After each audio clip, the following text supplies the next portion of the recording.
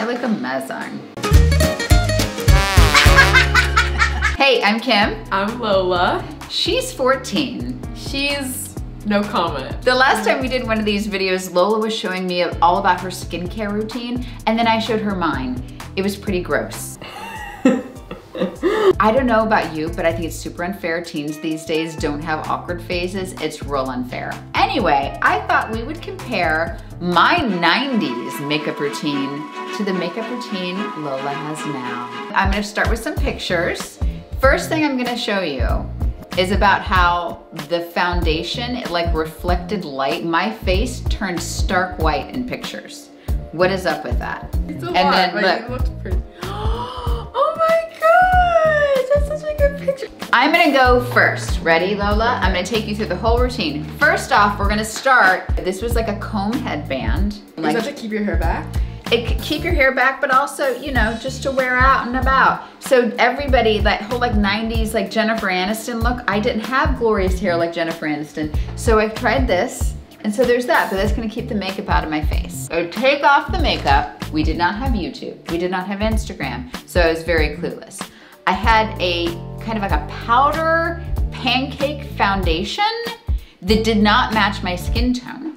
And then when photographed, as for example, Oh. it would like reflect light and then my skin again was just bright white. The goal was to have no shine at all. Just just really just pancakey.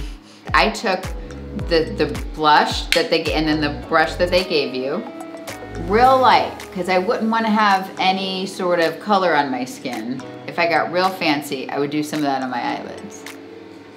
That was your eyeshadow too? It, it was kind of like, I wanted to be natural. Okay. Eyebrows. I plucked these suckers. They, I had nice eyebrows like that. I, I came to this earth with those eyebrows. Wh- what was I thinking? There's pictures of like Courteney Cox with like these really teeny tiny eyebrows and that's what I wanted. So I'm gonna try to recreate that for you.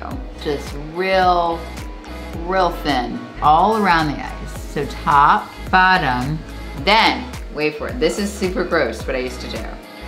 Super gross. Not at all recommended. And I don't think, maybe, am I the only person who did this? I would take brown eyeliner that had been on my eyes. I would use it as lip liner. Stop. You're gonna get some kind of disease.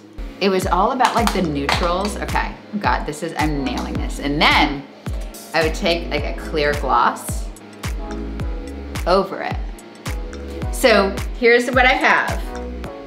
Very matte. If you were to take a picture of me with a flash on, I would look like a ghost. I, I'm having a hard time recreating the eyebrows, but imagine like the eyebrows. Um, very matte and then brown lips. Is that it? Basically, it was very simple, very simple. Interesting. Okay, your turn. So, so I use three things because I to prime with. Okay. Um, so this thing is from Milk Makeup, and it, you pretty much you put it under your eye, so it like wakes you up and it like depuffs your eyes like. You're 14. What do you have to depuff? No, everyone gets like um like your face gets swollen when you sleep. It's just a natural thing. It's not like you're old or anything. Then I use this is also from Milk Makeup, not sponsored, but um it's like a mattifying thing, and it mattes only certain areas that you want to Okay. have. You don't want to do all over. Just- So if I had access to that when I in the 90s, I just would have put that yeah, thing yeah. over my face. But really, I only put it right in between my eyebrows because you don't want that part to be shiny. It's just like doesn't look good. And I'm also gonna put it on my chin, but that's it. okay. And then I use this moisturizer primer. Um, I got this in my Ipsy box, but it's called In Transit Camera Close Up. And I'll just put that everywhere else that I didn't put the other stuff. So like on my cheek and then on my the top of my forehead. This is the foundation I use. It's the Best Skin Ever by Sephora. Whoa. Okay, by Sephora. It's like their brand. And a hack that's like works for me is you put it on your hand before you put it on your face. Like how, however much you want. I'm just gonna put like one little bit of it. And then I put it on my cheeks and my forehead. And I blend it out. I use two different shades of concealer for like the different areas of my face because I don't wanna look like a ghost. Um, you don't want to look like this. Yes, exactly. So I use the Glossier concealers just because they're really lightweight and they're not like, I don't know, they're, they're good. Um, so this is the lighter one and I just put this like on like the, like right here on my eyebrows, like right there. Ooh. And it like helps it like lift or whatever. I don't know. Like I a don't little really shape. It kind Um, like, yeah. And then I'll also put it on the tip of my nose, like just a little bit, like right there. ooh, what does that do? It makes it look smaller. Do you have a perfect nose. It's, it's fine, everyone can be improved.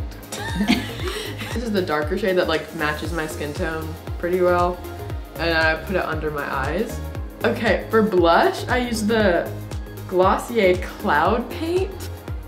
And in the shade Storm. And I'll put it a little bit on my fingers and just put it like right there and like a little bit on my nose. Yeah. So you're supposed to do it across your nose and then a little dot? well, I don't- I'm learning so well, much the- legitimately. the different your face shape is, the different where you're supposed to put your blush. So since I have a round face, you put it on like the sides. I always put it like here.